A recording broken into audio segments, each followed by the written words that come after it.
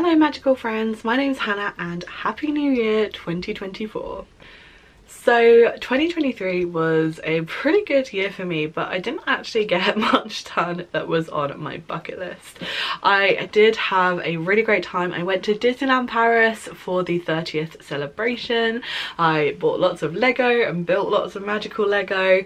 I did not actually do much Harry Potter re-stuff even though that was on one of my bucket lists but that's okay you know I still had a really great year but I have still made a 2024 sort of goal list for magical things and I just thought I would share that for my first video of the new year. So number one on my magical bucket list for 2024 is to plan my next Disney trip. Now I'm not saying to go on a Disney trip but I would like to plan a Disney trip.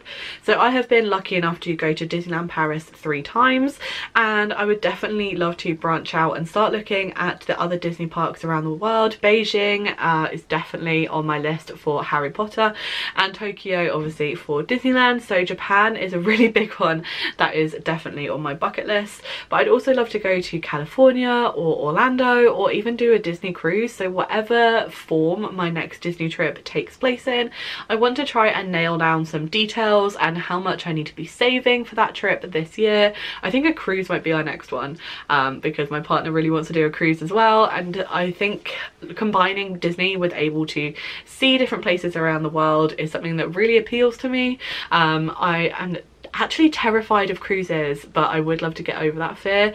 So Disney might be a way to do it. Number two on my bucket list is to have more Disney film nights. So Disney film nights was something that we did last year in the run up to our Disney trip.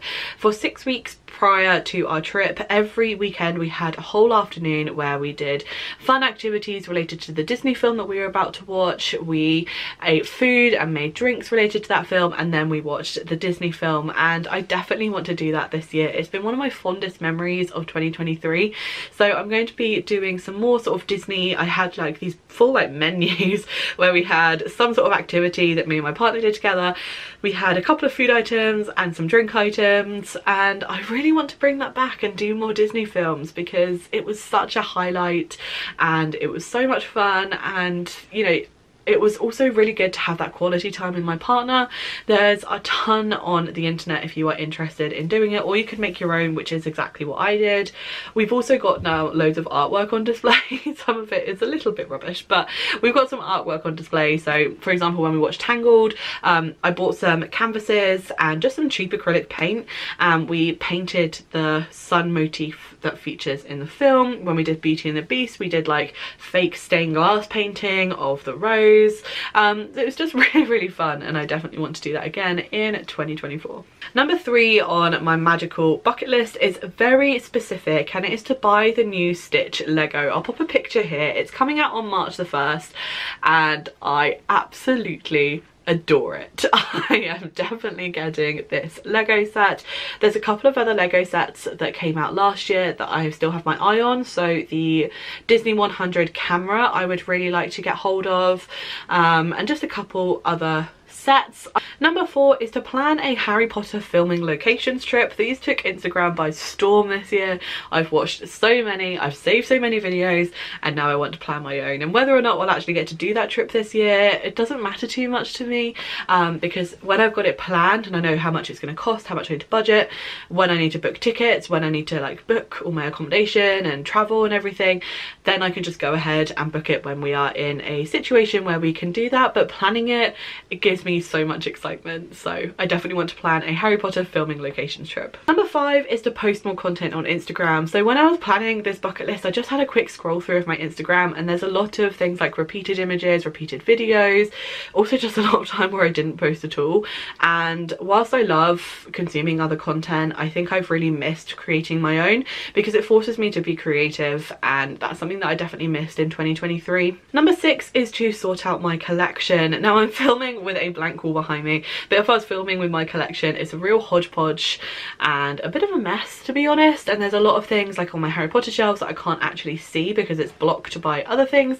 And I'm sort of thinking like, do I actually need all of that? I really want to streamline and only keep the things that I really want and get rid of the things that don't bring me as much joy. I also want to do the same with my Lego. I really got into Lego in 2023 and I bought a lot of Lego and now I'm looking at it and thinking, hmm, do I actually want to build that? Do I want that on my shelves or could I let that go and then get something that I really want in place of it?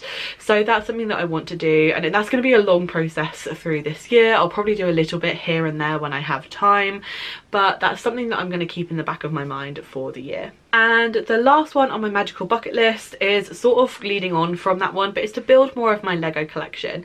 I have got a lot of sets that I've not built. And I've also got a lot of sets that I've built and I cannot display. So aside from like sorting out my collection that's then going to move into like loving what I've already got and building the Lego that I've already got. I've got boxes that are literally just gathering dust because I've sort of packed them, I've bought them, packed them away and I haven't built them and I know I'm not the only person guilty of this but it's sort of it almost like embarrasses me that I've got all of this Lego that I've not built and I cannot enjoy so that's definitely something that I want to do in 2024.